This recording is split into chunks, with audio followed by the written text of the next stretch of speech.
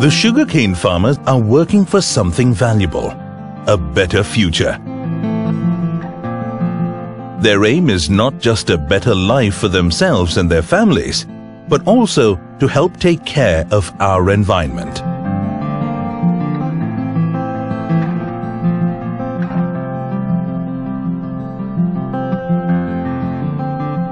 This waste from sugarcanes will soon be converted into the source for an environment-friendly biofuel called ethanol.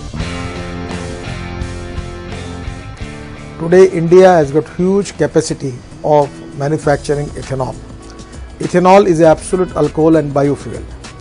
We have already started one bus which is running on 100% ethanol. Ethanol is a green fuel, pollution free, cost effective and import substitute. Bioethanol is already gaining popularity the world over. Ethanol is a sustainable, non-polluting, clean and affordable biofuel for transport vehicles with low emission. Bioethanol made out of waste from sugarcanes is one of the best ways of procuring the most environment-friendly fuel available to the world today. At the same time, it is going to create new economy for our agriculture sector. Presently, agriculture crisis is a very challenging for our country. Lot of farmers suicides are there. We, it is very difficult for government to give the appropriate prices for the food grains. In a situation, now today the technology is available that we can make ethanol not only from molasses or sugar cane juice, we can make ethanol from the cotton straw, wheat straw, rice straw, any agro waste and also from bagasse. A future that is already here.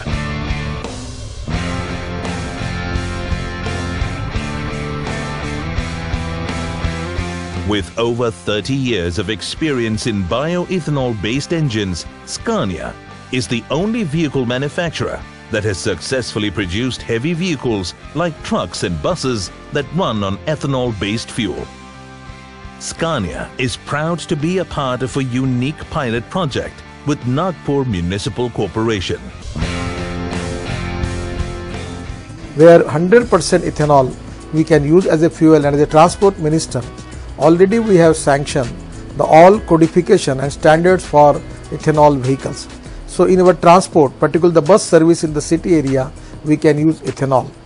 This is an important step towards environment-friendly public transportation solutions in India. Nagpur Municipal Corporation's Scania bus is both environment and passenger friendly. I was approached by Pradnya and this Harmony Safe Living initiative to talk a bit about Scania and what we are doing on sustainable transport solutions. But today I will talk a little bit more about what we are doing when it comes to facing the challenges we can see here in India when it comes to pollution and uh, also contribution, of course, to the global warming and, and the need of uh, replacing fossil fuels in the transport sector. India is clearly needing more public transport of all types, but I think buses is the main thing that will be possible to use to solve the congestion and the challenges in big Indian cities. And if you should run buses, you should of course try to run them on fuels that are uh, re renewable fuels that are good for the environment. One such project we are running in Nagpur in the center of India where we are now producing bio uh, ethanol that, that's produced in the area. We will run buses on that starting in the later part of this year with 55 buses.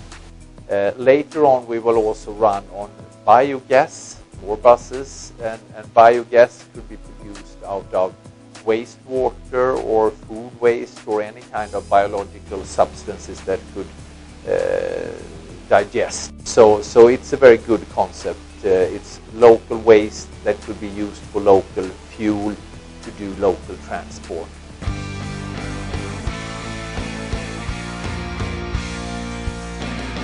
The response we have got from uh, the uh, city of Nagpur and the passengers on uh, the ethanol-driven city bus is fantastic. They say that this is something new in India. They are waiting for more bus buses and that this can create a totally new city environment in the growing big cities of India.